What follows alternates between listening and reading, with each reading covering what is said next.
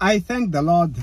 Uh, recent, I've discovered different ways in which people they confess their wickedness.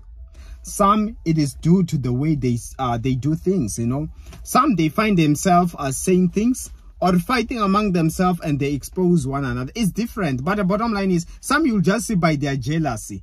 They slip up, they say something, and it will make you now uh, put one and one, one and two, and then you'll be like, oh, now I see. May they confess about everything that they have stolen and they've been doing behind your back in Jesus' mighty name. Amen and see you next time.